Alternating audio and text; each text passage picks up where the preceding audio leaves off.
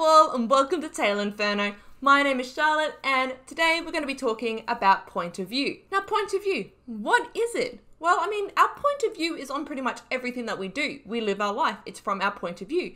We talk about a story about our day, it's from our point of view. You know, things like that. We just we talk about our opinions, that's our point of view.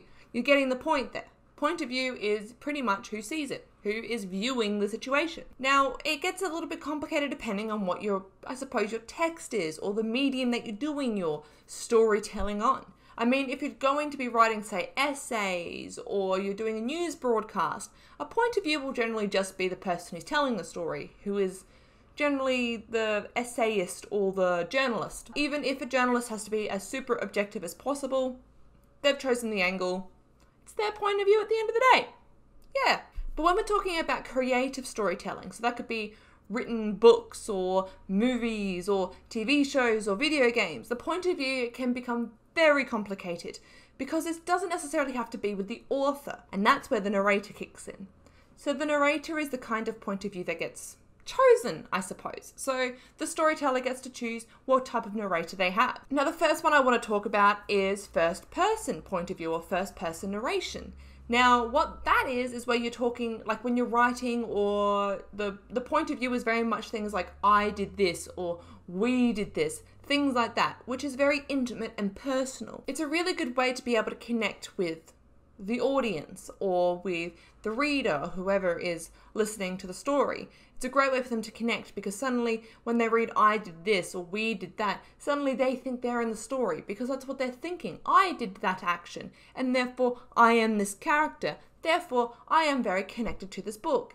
And yeah, it's a really cool concept to be able to know that when you're reading a book or you're watching a movie or whatever, you are connecting to that character in that very intimate way. There's a different kind of version of first person as well, which is a very much a detached type of first person point of view.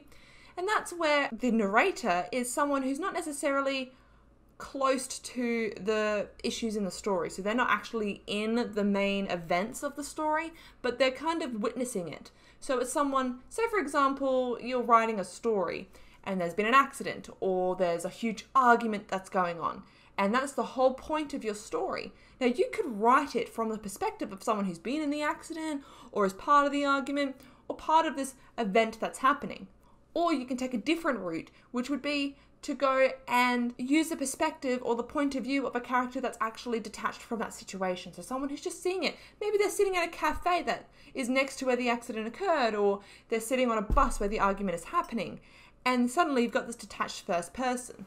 It's still very intimate with that character, but the person the the audience or the reader isn't really connecting with that event so much they're uh, connecting with it as a witness but they're not deeply involved in the event that's going on. And then there's third person, which is where there's a lot of she she did this, he did that, stuff like that, which isn't as intimate as the I did this and we did that, but there still is the ability, like there still is an ability to connect with the character. Third person really can focus on one character. So when you're reading about this one character, the feelings and so forth, even if it's in the third person, you can still have a really deep connection with that uh, that character. There's no reason why you can't, and that happens a lot in stories. It's just not as deeply intimate. You're not thinking I am doing this. This it is another person. There's also a type of narrator or point of view which is the detached one, where basically the narrator is very much very detached from the situation. Now, what does that mean? Well, that means that, say, an event is occurring and there's really no assumptions made or opinions put across or even descriptions of what's really going on. It's very dry. It's very much like this character over here did that and this character over here did this and so forth. There's no assumption of what those characters are feeling or why they're doing those actions. It's just a very straight, dry event by event by event by event. This action happened, this action happened, this action happened. And then the final point of view or type of narrator that I want to be talking about today is the omniscient narrator. Basically, what an omniscient narrator is, is a narrator that has a very godlike perspective on what's happening in the story. So it can change perspectives very quickly.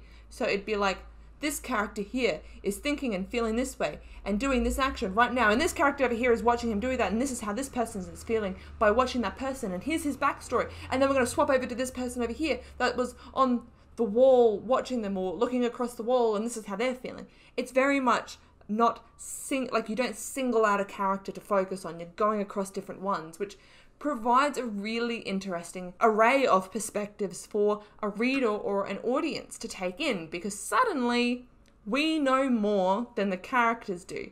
And that's a really cool way of doing st- well, at least I think I think it's very cool because you could be sitting there reading a book and then suddenly you're in this position where you know that a particular character is going to perform a certain action. But then the perspective changes and you're at this other character and suddenly you're just like, what? Wait, no, this character needs to know right now that this is about to happen, and they don't know. And you have to sit there in this almost agonizing pain, knowing that something is about to happen and the character doesn't know, but you do. And I think that is wicked, and that is a great way to get people connected. Or at least that's a great way to get me connected to the story, because I will yell at whatever is going on, being like, Excuse me, excuse me. It doesn't have to all be in the one chapter though, or a one like in one section that an omniscient narrator can happen, like a different kind of perspective shift.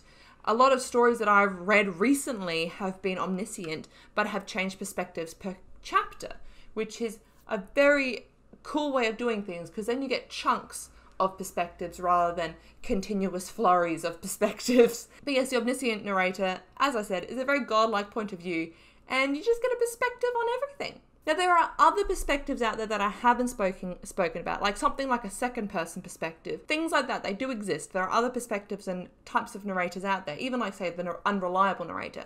Different point of views, different narrators, different types all out there that you can go and look up yourself. I'll probably talk about them in future vlogs and so forth, so you know, keep an eye out for that. But in this point, in this video, all I have spoken about is the first person, third person, detached, and omniscient. But yeah, that's pretty much it. Like this video if you liked it, subscribe to the Tale Inferno YouTube channel if you want to watch more, or go check out the website at www.taleinferno.com and you can check out everything else and get involved with everything, because why not? It's time to ignite the story within ourselves. 2019 is the year. And yeah, that's it. Remember to ignite the story, and I'll see you again soon. Bye!